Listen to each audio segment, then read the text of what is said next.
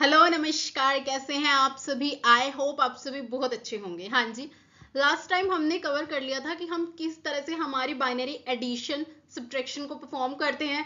हम सब्ट्रैक्शन को with the help of one's complement और टूस कॉम्प्लीमेंट किस तरह से करते हैं, हमने वो बेसिक सारा कवर कर लिया था। सिंपल आज हमने देखना है कि हम बाइनरी मल्टीप्लीकेशन प्लस डिवीज़न किस तरह से करते हैं।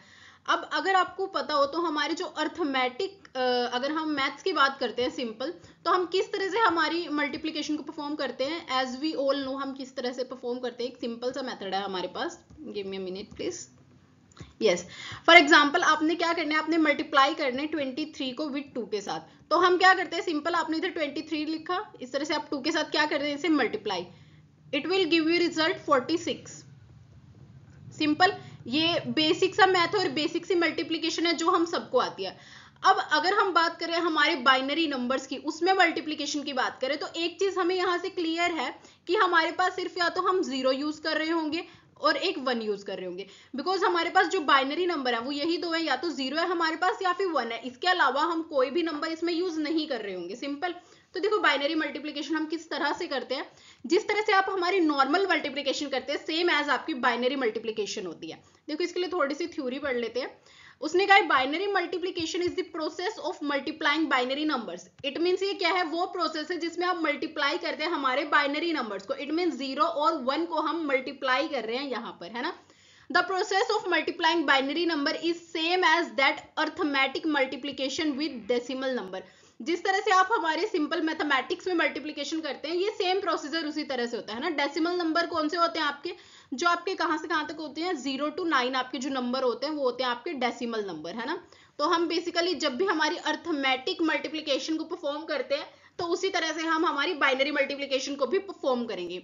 अब इसके लिए देखो रूल्स देख लो। अगर आप ज़ीरो मल्टीप्लाई ज़ीरो कर रहे हैं तो आपको ये रिज़ल्ट ज़ीरो ही देगा, है ना? ये तो हम अगर हमारी अर्थमेटिक मल्टीप्लीकेशन में भी करते हैं तो ज़ीरो इंटू ज़ीरो ज़ीरो ही होता है ना? सेम अगर आप क्या कर रहे हैं, ज़ीरो इंटू वन को मल्टीप्लाई कर रहे हैं it will give you result zero. ये भी आपको क्या रिज़ल्ट देगा? यहाँ पे ज़ीरो। यहाँ पे आपको ज़ीरो लिखना है। अगेन यहाँ पे भी आपको ज़ीरो लिखना है। अगेन आप वन मल्टीप्लाई ज़ीरो कर रहे it will also give you result zero सिर्फ़ जब आप वन इंटू वन करते हैं, तब आपको क्या रिज़ल्ट मिलता है? वन मिलता है। और ये आपका सेम है किस तरह से? अर्थोमेटिक मल्टीप्लीकेशन की तरह से। इन रूल्स में कोई ज़्यादा डिफरेंट चीज़ नहीं है या फिर ज़्यादा डिफ़िकल्ट नहीं है है ना? फिर भी हम एक बाइनरी मल्टीप्लीकेशन का एग्ज़ाम्पल देख लेते हैं। चलिए जी स्टार्ट करते हैं। फॉर एग्ज़ाम्पल आपने इस नंबर को मल्टीप्लाई करना है विद दिस नंबर है ना? अब आप इसे किस तरह से मल्टीप्लाई करते हैं? देखो सिंपल मल्टीप्लीकेशन मेथड हम पढ़ के आए हैं, हमने किस तरह से करना होता है तो हम सेम वही प्रोसीजर यहाँ पे अप्लाई करेंगे। देखो, अगर हमें पता है वन इंटू वन क्या मिलेगा, आपको रिज़ल्ट मिलेगा वन ठीक है? अगेन अब आप इस वन की मल्टीप्लाई करते हैं ज़ीरो के साथ, है ना? हम अगर सिंपल मल्टीप्लीकेशन करते हैं, तब भी हम इसी तरह से करते हैं, जो आपका ये फ़र्स्ट नंबर है। पहले आप इस नंबर की इन सारे डिजिट्स के साथ एक एक करके क्या करेंगे? मल्टीप्लाई करेंगे। सेम आप वन ज़ीरो जा ज़ीरो अगेन वन वन जा वन अगेन वन वन जा वन और फिर लास्ट में आपको फिर वन वन जा क्या मिलेगा? वन मिलेगा।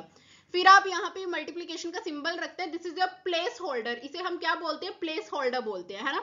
अब आपने नेक्स्ट डिजिट की मल्टीप्लीकेशन कर रही है। देखो ज़ीरो है यहाँ पे तो आप किसी भी नंबर के साथ मल्टीप्लाई करते हैं, ये आपको रिज़ल्ट ज़ीरो ही देगा। तो हमने यहाँ पे क्या लिख दिया सारे में? सब जगह ज़ीरो ही प्लेस कर दिया है। नेक्स्ट अगेन आपके पास ज़ीरो है मल्टीप्लाई करेंगे तो फिर आपको यहाँ पे क्या मिलेगा? ज़ीरो ही मिलेगा अगेन अब अगेन आपके पास वन है तो it will give you the same result as one जैसा आपको यहाँ पे रिज़ल्ट मिला था सेम ही यहाँ पे आपको रिज़ल्ट देगा तो ये हमने यहाँ पे लिख दिया। जब आप इस सारे को अगर हम सिंपल मल्टीप्लिकेशन करते हैं तो हम लास्ट में सबको क्या कर देते हैं? ऐड कर देते हैं, है ना? अब एडिशन के जो रूल्स है, वो हम प्रीवियस वीडियोस में पढ़ के आ चुके हैं कि एडिशन के जो है, क्या रूल्स होते हैं? कब कैरी जनरेट होता है, कब नहीं होता है, ये हमें पता है ना? सिंपल हमारी जो अर्थमेटिक एडिशन होती है, उसी तरह हमारी एडिशन। बस एक एक्सेप्शन केस क्या होता है? इफ़ वन प्लस वन अगर आप करते हैं, ठीक है तो it will give you result zero ये आपको रिज़ल्ट तो ज़ीरो देता है बट ये क्या करेगा? एक कैरी को जनरेट कर देता है। It will give you result zero but ये क्या करेगा आपके लिए? यहाँ पे इसने क्या किया? एक ये प्लस कर रहे हैं अगर आप तो आपने यहाँ पे क्या किया? इसने एक कैरी को आपके लिए जनरेट कर दिया सिंपल है ना? तो देखो अब हमने क्या करना है? यहाँ पे इन सभी को क्या करना है? प्लस करना है। ओके हमारे पास यहाँ पे क्या है? वन है। तो यहाँ पे एज इट इज़ हमारे पास क्या जाएगा? वन अगेन यहाँ पे ज़ीरो प्लस ज़ीरो करेंगे। जब हम तो हमें मिलेगा यहाँ पे ज़ीरो अगेन आपके पास यहाँ पे क्या है? वन ज़ीरो ज़ीरो करेंगे तो हमें मिलेगा वन वन प्लस वन आपको रिज़ल्ट यहाँ पे मिलेगा ज़ीरो बट ये आपके लिए क्या करेगा? एक कैरी को जनरेट कर देगा, जो कि आपका यहाँ पे है। सिंपल अब अगेन वन प्लस वन ये भी आपके लिए क्या देगा? रिज़ल्ट ज़ीरो देगा बट आपके लिए एक कैरी को जनरेट कर दिया।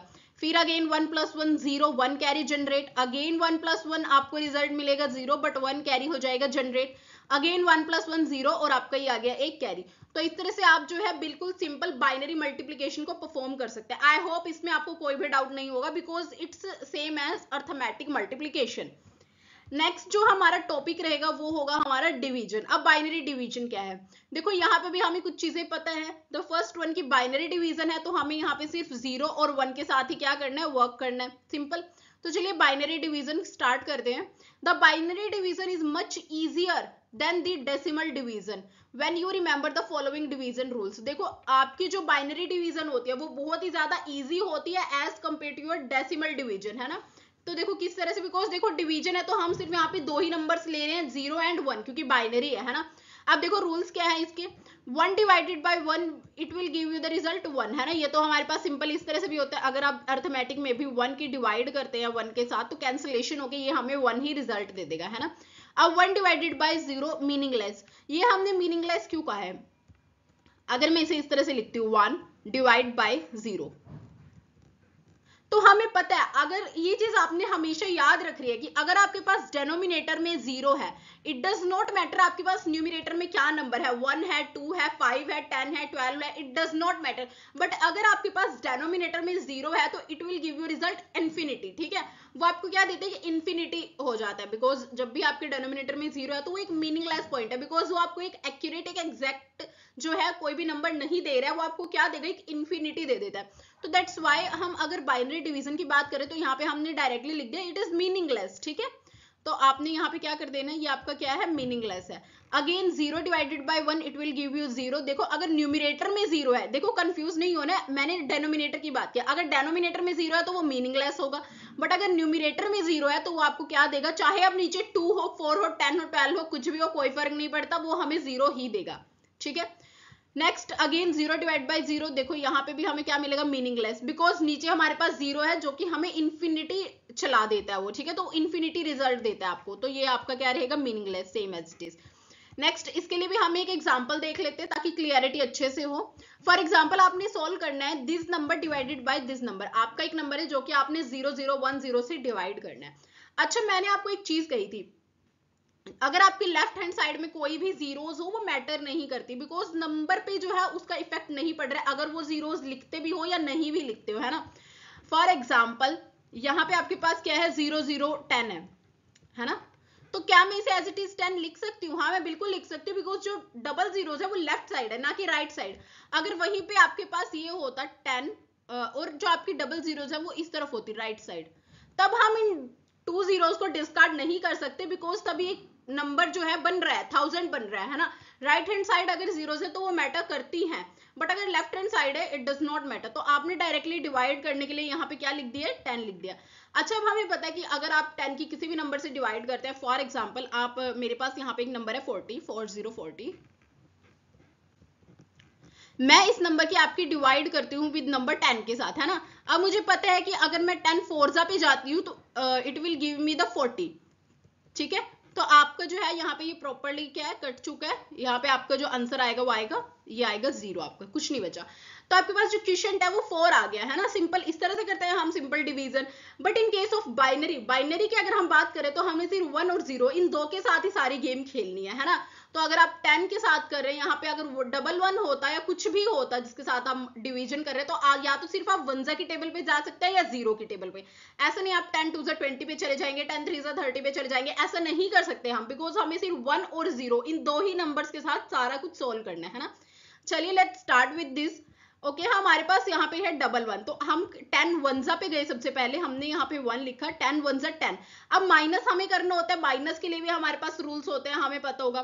देखो माइनस हमारा सेम अर्थमेटिक वाला ही होता है बस एक आपके पास क्या था? एक्सेप्शन केस था. देखो जो एक्सेप्शन केस है ना उन्हें याद रखा करो. सारे रूल्स को याद रखने की ज़रूरत नहीं है. एक्सेप्शन केस ये था कि जब भी आप क्या करेंगे ज़ीरो माइनस वन करते हैं. ज़ीरो माइनस वन करेंगे. तो ये आपको क्या रिज़ल्ट देता था? ये रिज़ल्ट देगा आपको वन बट ये क्या करेगा? एक बोरो भी करेगा। ठीक है? ये इस तरह से होता था। ये वाला आपने रिज़ल्ट जो है याद रखना है। अब चलो स्टार्ट करते हैं। यहाँ पे वन माइनस ज़ीरो हमारे पास वन आ जाएगा और हमने एक कैरी ऊपर से क्या लिया है? वन को नीचे ले लिया है अब हमारे पास इलेवन यानी वन वन आ गया, इलेवन नहीं रीड करेंगे हम इसे। अब अगेन हम टेन वनजा पे जाएँगे, यहाँ पे अगेन मैंने टेन वन लिखा है तो अगेन टेन आ गया, फिर जब मैं वन माइनस ज़ीरो करती हूँ, वन यहाँ पे आएगा आपका, वन माइनस वन ज़ीरो और हमने ऊपर से अगेन वन को ले लिया है। अब अगेन इलेवन है तो फिर ये वन की टेबल में जाएगा, यहाँ पे टेन आएगा अगेन हमारे पास यहाँ पे वन वन आ जाएगा, फिर टेन आएगा। अब देखो आपके पास क्या है, अब ज़ीरो को आप जो है लेके आए हो। अब यहाँ पे आपके पास क्या आ गया? वन ज़ीरो आ गया। अगेन आप वन की टेबल पे जाएँगे और आपके पास क्या आएगा? वन ज़ीरो अब ज़ीरो है और आपके पास ऊपर एक ज़ीरो भी है। तो आपने उसे भी क्या करना है? नीचे लेके आना है। जब आप उसे नीचे लेके आते हैं तो आपके पास क्या है? डबल ज़ीरो तो अब आप क्या करेंगे? टेन जीरोजा करेंगे तो आपको आएगा डबल ज़ीरो है ना? तो यहाँ पे आपका कंप्लीट क्या हो गया? खत्म हो गया। आपने डिसीज़न वाले प्रोसीजर को बाइनरी डिवीज़न में तब तक चला के रखने जब तक आपको एंड रिज़ल्ट क्या ना मिल जाए ज़ीरो ना मिल जाए, है ना? फॉर एग्ज़ाम्पल अगर हमारे पास यहाँ पे क्या होता अगर हमारे पास यहाँ पे कुछ भी नंबर होता जो एग्जैक्टली प्रॉपरली डिवाइड नहीं हो रहा है तो हम डेसिमल्स में जाते। इस तरह से करते हैं हम अर्थमेटिक को भी तो हमें यहाँ पे भी क्या करना है, तब तक चला के रखना है जब तक हमें एंड रिज़ल्ट ज़ीरो ना मिल जाए। तब तक आपने इसको परफॉर्म करते रहना है रहना है रहना है। ठीक है? आप यहाँ पे रिमाइंडर में कोई भी नंबर नहीं छोड़ सकते। फॉर एग्ज़ाम्पल आप यहाँ पे वन को नहीं छोड़ सकते। नहीं, आपने बिल्कुल ज़ीरो तक लेके आना है। आई होप आपको मल्टीप्लीकेशन और डिवीज़न का कॉन्सेप्ट क्लियर हो गया होगा। अगर आपको इसमें कोई भी डाउट है, आप मुझसे कमेंट सेक्शन में पूछ सकते हैं। Thank you very much please learning and keep growing guys thank you very much please like share and subscribe our channel thank you